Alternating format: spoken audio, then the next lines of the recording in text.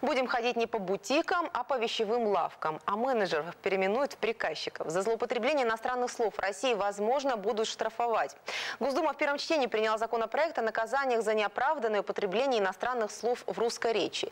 Его Захар Письменных сегодня занимался этой темой. Он сейчас в студии. Захар, ну пока мы эти слова можем произносить, а вы можете их перечислить, чтобы мы знали, за что нас могут оштрафовать, если Да, что? обязательно сейчас перечислю, но начну с того, что депутаты настаивают на том, чтобы заменить иностранные слова, которые плотно вошли в нашу жизнь за последние несколько лет, русскими синонимами. Предварительный список вот какой. Например, бизнес-ланч планируют заменить на деловой обед. Сингл должен стать песней, а стартап – малым предприятием технологического уклона. Но это далеко не все. Одно из самых популярных, наверное, заимствований последних дней – это слово «селфи». Если кто-то не знает, то это когда человек сам себя фотографирует на телефон. Можно, например, заменить себяшкой. В то же время даже первые лица государства делают селфи и подписывают это в социальных сетях именно как селфи. Поехали дальше. Модное слово «бутик». Планирую заменить на лавочку. Тут интересно посмотреть, кто первым из, бизнесменов, пере- э, из бизнесменов переименует свой магазин в модную лавочку.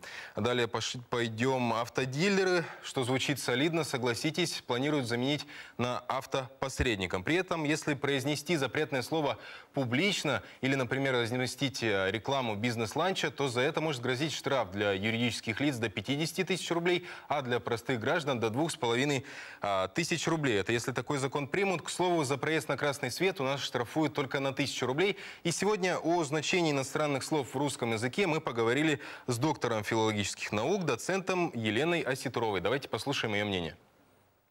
Число иностранных слов в русском языке измеряется тысячами. Каждое слово, которое существует в любом языке, в том числе и в русском, и используется теми людьми, которые говорят на этом языке, оказывается необходимым.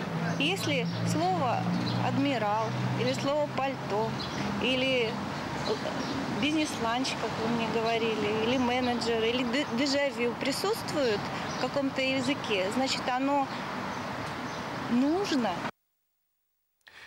Самое интересное, что депутаты не планируют трогать самое дорогое, наверное, для себя, ведь слово «депутат» произошло от латинского «депутатус», то есть посланный. Кроме того, слово «штраф» – это тоже заимствование из немецкого. И таких примеров очень много. Я напомню, что закон еще не, примет, э, не принят, и, возможно, будут какие-то доработки. На этом у меня все. Ксения? Забавно очень звучит себяшка да, вместо селфи. Спасибо, Захар.